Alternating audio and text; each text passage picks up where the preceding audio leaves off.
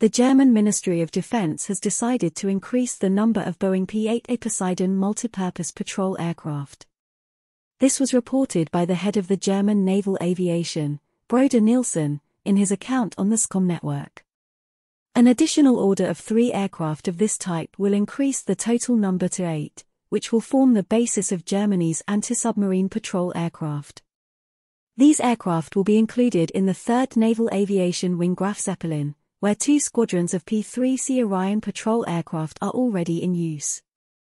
According to German media, the approved order package for eight aircraft may be expanded to 12 units.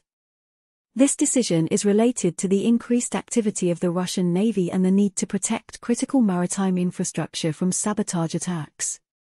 The planes will become an additional resource to ensure round-the-clock patrol potential.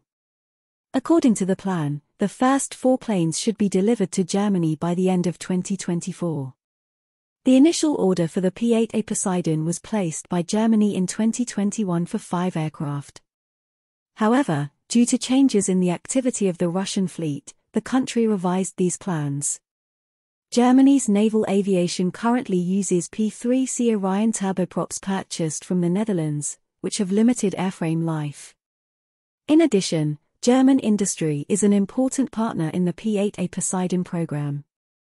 For example, in the summer of 2023, Boeing concluded agreements with Electronic System and Logistic and Lufthansa Technik AG to cooperate in the field of system integration, training, and support.